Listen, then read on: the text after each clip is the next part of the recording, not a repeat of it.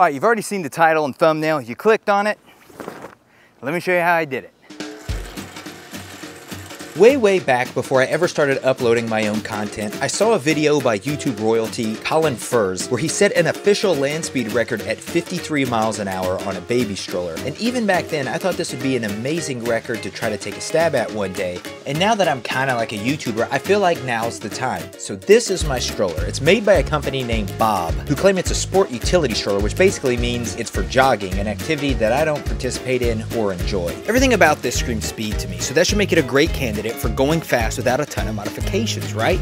Now, using only AI, let me give you a rundown of my plans. First, we're going to remove the baggage carrier because we've got to make room for a solid rear axle and an engine. Next, we'll be adding some sort of bicycle handle for steering. This stroller comes with 16-inch pneumatic tires, but the hubs and spokes are plastic, so we'll swap those out for metal ones. Got to remove this sunshade because it's just in the way, then add some basic support for rigidity. Beautiful. Let's start removing superfluous pieces. Yo! Innovation's inevitable in projects like this. I was focusing my attention on developing an engine mount that would simultaneously integrate the axle carrier while at the same time unifying and giving structure to the body. I call it a unibody. But at this point I realized the tubing of the stroller was made of aluminum and not steel like I thought. I don't know how to weld aluminum. I'm thinking I'm just gonna have to bolt this to this. I don't really like that idea, but I don't know what else to do.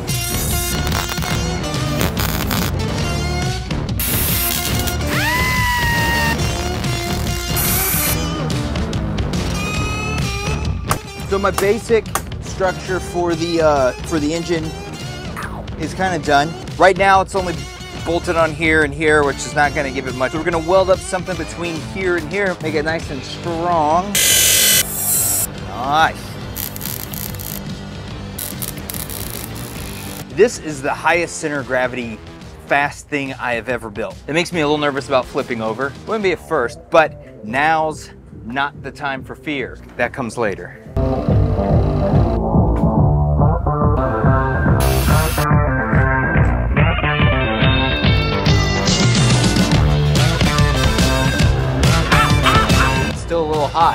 I'm replacing the three plastic wheels with three metal ones I got off of $10 bikes from Facebook Marketplace. These things are cheaply made and that's a risk I need to factor into my testing. But one factor you don't have to worry about is today's sponsor, Factor. Factor makes meeting your nutrition goals easier than ever by delivering fresh, dietitian approved meals right to your doorstep. As a YouTuber who uploads four, even five videos a year, you can imagine I have very little free time. But with Factor, I can choose from over 34 chef prepared meals that are easily ready in two minutes. When I say it's convenient, right now it's 112 degrees in Texas just warming it up on the hood of my car. I'm gonna go off script here and say I have yet to find one that wasn't absolutely delicious. Today's choice, spicy poblano beef bowl. You can even level up with gourmet plus options with premium ingredients like broccolini, leeks, truffle butter, and asparagus. If your schedule is unpredictable like me, Factor's flexible. You can easily adjust your order size and even skip a week if you're out of town. If quality nutrition is something you want, but time isn't something you have, Factor has you covered. Head to factor75.com or click the link below and use code ChrisRollins50 to get 50% off your first Factor box. All right, let's see how she rolls.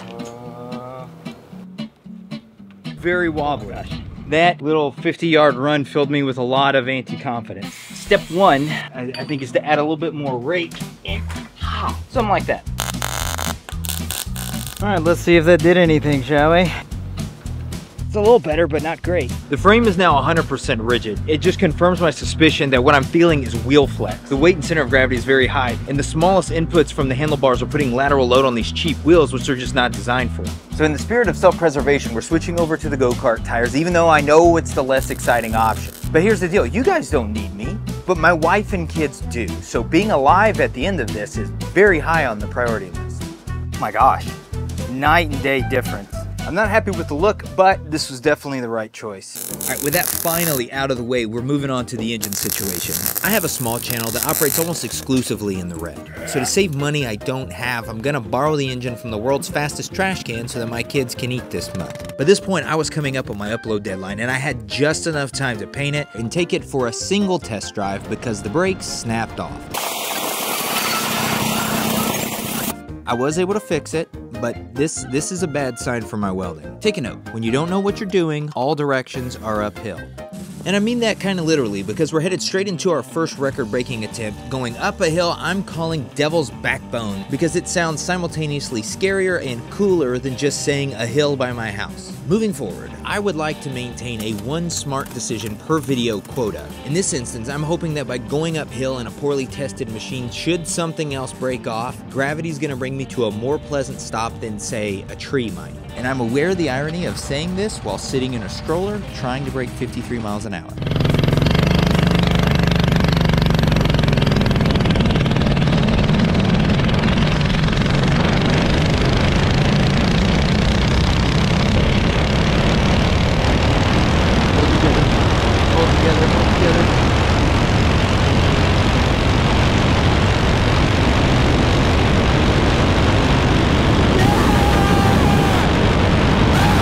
I can't believe it! That's incredible! 58! 58 uphill! If she can do this uphill, we've got tons more speed. Did it feel stable? One of the scariest things I've driven.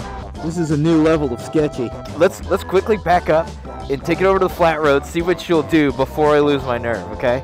You like that? It's my accent piece. Couldn't I couldn't bring myself to take it off. My confidence is back a little bit. Still stupid, but my confidence is back a little bit. We're gonna navigate easy through these two turns and we're gonna sink it. The vibration is wild. It does not like to turn. I can feel it want to get up on two wheels. All right, there we go. Full throttle.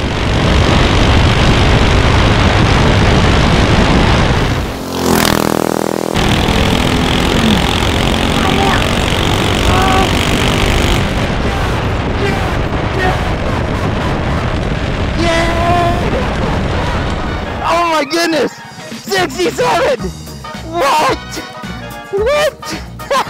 67 in a stroller! That is so stupid!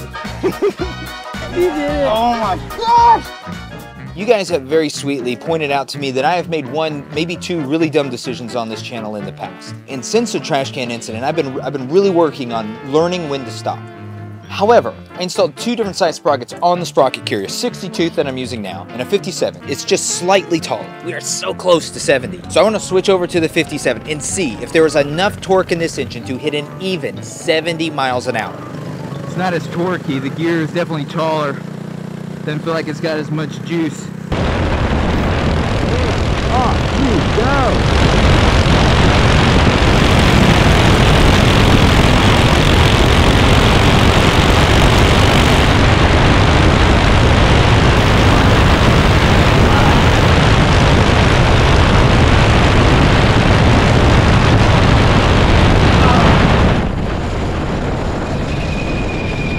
Sixty-seven again. I mean, we're just at the peak of the power. Something changed on that run. The vibration is, is different. It's a lot more violent. Um, it's actually hurting my feet and my hands. I think the smart thing to do, stop while we're ahead. Yeah, we've set the bar pretty good. Did we all getting nods here? I, I want to ask a favor. Uh, if you're watching this and you think that you can build a faster stroller, please do it. That's not arrogance. I want to make this one a lot faster, and I need to be able to justify that to my wife. I got a ton of room left over for a bigger engine.